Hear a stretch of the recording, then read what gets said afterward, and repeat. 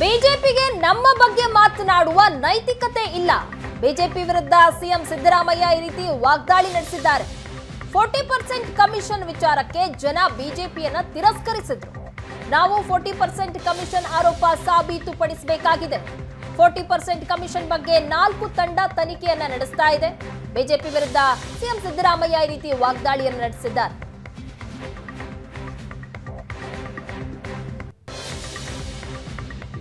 ಬಿಜೆಪಿಗೆ ನಮ್ಮ ಬಗ್ಗೆ ಮಾತನಾಡುವ ನೈತಿಕತೆನೇ ಇಲ್ಲ. ಬಿಜೆಪಿ ವಿರುದ್ಧ ಸಿಎಂ ಸಿದ್ದರಾಮಯ್ಯ ಈ ರೀತಿ ವಾಗ್ದಾಳಿ ನಡೆಸಿದ್ದಾರೆ. ಫೋರ್ಟಿ ಪರ್ಸೆಂಟ್ ಕಮಿಷನ್ ವಿಚಾರಕ್ಕೆ ಜನ ಬಿಜೆಪಿಯನ್ನ ತಿರಸ್ಕಾರ ಮಾಡಿದ್ದಾರೆ. ನಾವು ಈಗ ಫೋರ್ಟಿ ಪರ್ಸೆಂಟ್ ಕಮಿಷನ್ ಆರೋಪವನ್ನ ಸಾಬೀತು ಮಾಡಬೇಕಾಗಿದೆ. ಫೋರ್ಟಿ ಪರ್ಸೆಂಟ್ ಕಮಿಷನ್ ಬಗ್ಗೆ ನಾಲ್ಕು ತಂಡ ತನಿಖೆಯನ್ನ ನಡೆಸ್ತಾ ಇದೆ ಅಂತ ಸಿಎಂ ಸಿದ್ದರಾಮಯ್ಯ ಹೇಳಿದ್ದಾರೆ. ಹೋರಾಟ ಮಾಡ್ತಾರೆ? ಏನು ಹೋರಾಟ ಮಾಡ್ತಾರೆ? ಅವ್ರ ನೈತಿಕತೆ ಏನಿದೆ?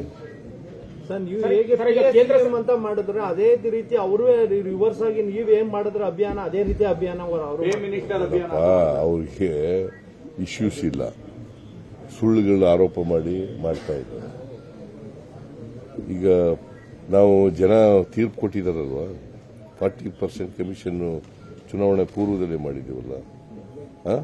ಜನ ಅದ್ರ ಮೇಲೆ ತಾನೇ ತೀರ್ಪು ಕೊಟ್ಟಿರೋದು ನಾವು ನೂರ ಮೂವತ್ತಾರು ಗೆದ್ದ ಮೇಲೆ ಅವ್ರಿಗೆ ಕಸಿವಿಸಿ ಶುರುವಾಗ್ಬಿಟ್ಟದೆ ಅದಕ್ಕೆ ಇದ್ದಿದ್ದ ಸುಳ್ಳುಗಳನ್ನೆಲ್ಲ ಆರೋಪ ಮಾಡಿ.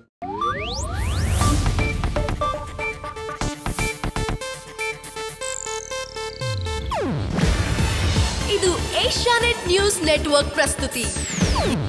ನೀವು ನೋಡ್ತಿದ್ದೀರಾ ಏಷ್ಯಾ ನೆಟ್ ಸುವರ್ಣ ನ್ಯೂಸ್.